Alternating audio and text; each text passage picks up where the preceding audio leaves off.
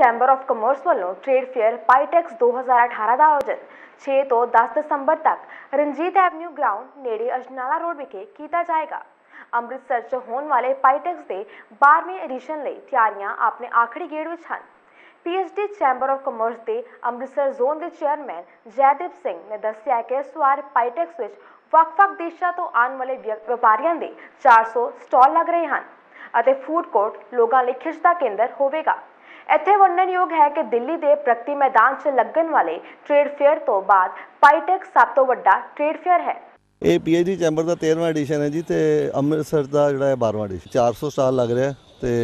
ਲੋਕ ਜਿਹੜੇ ਨੇ ਸਾਨੂੰ ਪਿਛਲੀ ਵਾਰੀ 2.5 ਲੱਖ ਦੇ ਕਰੀਬ ਸੀ ਔਰ ਇਸ ਵਾਰੀ ਸਾਨੂੰ ਉਮੀਦ ਹੈ ਕਿ ਜ਼ਿਆਦਾ ਆਣਗੇ ਕਿਉਂਕਿ ਥੋੜੀ ਜਗ੍ਹਾ ਵੀ ਜ਼ਿਆਦਾ ਸਾਡੇ ਕੋਲ ਇੱਥੇ ਔਰ ਇਸ ਵੇਲੇ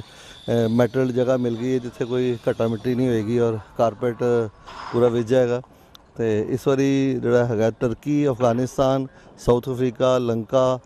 ਔਰ ਨੇਪਾਲ ਤੇ ਥਾਈਲੈਂਡ, ਇਹਨਾਂ ਕੰਟਰੀ ਤੋਂ ਸਾਰੇ ਜਿਹੜੇ ਐਗਜ਼ੀਬਿਟਰ ਵੀ ਆ ਰਹੇ ਨੇ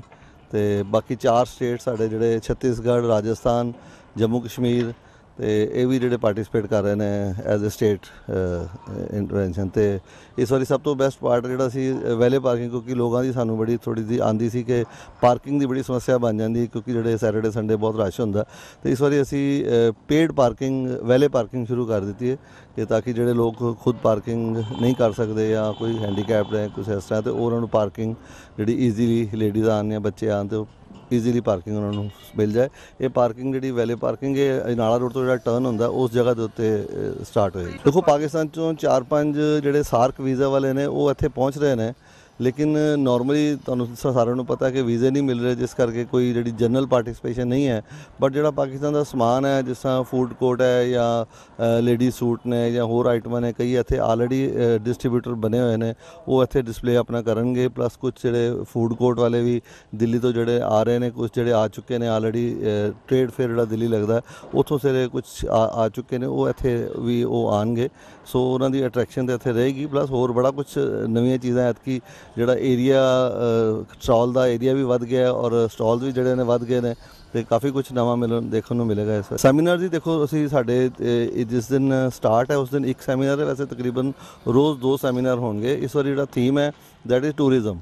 ਤੇ ਸ਼ਾਇਦ ਸਿੰਗਾਪੁਰ ਤੋਂ ਵੀ ਇੱਕ ਟੀਮ ਆ ਰਹੀ ਹੈ ਜਿਹੜੀ ਟੂਰਿਜ਼ਮ ਨੂੰ ਵਧਾਉਣ ਵਾਸਤੇ, ਕਿਉਂਕਿ ਜਿਸ ਤਰ੍ਹਾਂ ਇੱਥੇ ਡਾਇਰੈਕਟ ਫਲਾਈਟ ਸ਼ੁਰੂ ਹੋ ਗਈਆਂ ਨੇ, ਤੇ ਸਿੰਗਾਪੁਰ ਵਾਲੇ ਵੀ ਚਾਹੁੰਦੇ ਨੇ ਕਿ ਅੰਮ੍ਰਿਤਸਰ ਤੋਂ ਜਾਂ ਉਹਨਾਂ ਨੂੰ ਇੱਥੇ ਜਿਹੜਾ ਟੂਰਿਜ਼ਮ ਦੇ ਵਿੱਚ ਅਸੀਂ ਆਪਸ ਵਿੱਚ ਕੋਈ ਸਾਂਝ ਪਾ ਕੇ ਕੁਝ ਕਿਸ ਤਰ੍ਹਾਂ ਬੈਟਰ ਕਰ ਸਕਦੇ ਹਾਂ, ਉਹ ਚੀਜ਼ ਨੂੰ ਅਸੀਂ ਬੈਟਰ ਕਰਨ ਵਾਸਤੇ ਕੋਸ਼ਿਸ਼ ਕਰ ਰਹੇ ਹਾਂ। ਤੋਂ ਇਸ ਵਾਰੀ ਸਾਡਾ ਮੇਨ ਜਿਹੜਾ ਥੀਮ ਫਸਟ ਡੇ ਦਾ ਓਪਨਿੰਗ ਦਾ ਦੈਟ ਇਜ਼ ਫॉर ਟੂਰਿਜ਼ਮ ਬਾਕੀ ਹੋਰ ਹੈਲਥ ਸੈਕਟਰ ਤੇ, ਹੋਰ ਜਗ੍ਹਾ ਤੇ, ਕਾਫੀ ਜਗ੍ਹਾ ਤੇ ਕਾਫੀ ਸੈਮੀਨਾਰਸ ਹੋ ਰਹੇ ਨੇ। ਇਹ 6 ਤਰੀਕ ਤੋਂ ਲੈ ਕੇ 10 ਤਰੀਕ ਤੱਕ ਹੈ ਜੀ। ਤੇ ਵੀਰਵਾਰ ਤੋਂ ਲੈ ਕੇ ਤੇ ਮੰਡੇ ਤੱਕ ਸਮਾਂ ਇਹਦਾ 10:30 ਤੋਂ ਲੈ ਕੇ 8 ਵਜੇ ਤੱਕ ਹੋਏਗਾ ਜੀ। ਪੀਐਚਡੀ ਚੈਂਬਰ ਆਫ ਕਾਮਰਸ ਵੱਲੋਂ ਇਸ ਵਾਰ ਵੀ ਪਾਈਟੈਕਸ ਮੇਲਾ 6 ਤੋਂ ਲੈ ਕੇ 10 ਦਸੰਬਰ ਤੱਕ ਰਣਜੀਤ ਐਵਨਿਊ ਵਿਖੇ ਲਗਾਇਆ ਜਾਣਾ ਜਿਸ ਦੀਆਂ ਸਾਰੀਆਂ ਹੀ ਤਿਆਰੀਆਂ ਮੁਕੰਮਲ ਹੋ ਚੁੱਕੀਆਂ ਨੇ ਅਤੇ ਇਸ ਮੇਲੇ ਵਿੱਚ 400 ਤੋਂ ਵੱਧ ਸਟਾਲ ਲਗਾਏ ਜਾਣੇ ਨੇ। ਜੇਕਰ ਆਖਿਆ ਜਾਵੇ ਕਿ ਦਿੱਲੀ ਦੇ ਪ੍ਰਗਤੀ ਮੈਦਾਨ ਦੇ ਵਿੱਚ ਲੱਗਣ ਵਾਲੇ ਟ੍ਰੇਡ ਮੇਲੇ ਤੋਂ ਬਾਅਦ ਜੇਕਰ ਕੋਈ ਨਾਰਥ ਜ਼ੋਨ 'ਚ ਕਿ ਪੂਰੇ ਹਿੰਦੁਸਤਾਨ 'ਚ ਕੋਈ ਸਭ ਤੋਂ ਵੱਡਾ ਅ, ਟ੍ਰੇਡ ਮੇਲਾ ਤੋਂ ਪਾਈਟੈਕਸ ਹੈ ਹੁਣ ਇੰਤਜ਼ਾਰ ਹੈ 6 ਤੋਂ 10 ਤਰੀਕ ਦਾ ਜਦ ਇਹ ਮੇਲਾ ਲਗਾਇਆ ਜਾਣਾ ਤੇ ਵੱਡੀ ਗਿਣਤੀ 'ਚ ਲੋਕ ਅਤੇ ਐਗਜ਼ੀਬਿਟਰ ਇੱਥੇ ਹਿੱਸਾ ਲੈਣਗੇ ਕੈਮਰਾਮੈਨ ਰਮਨ ਕੁਮਾਰ ਨੇ ਸੰਦੀਪ ਸਿਆਲ ਫਸਟ ਨਿਊਜ਼ ਅੰਮ੍ਰਿਤਸਰ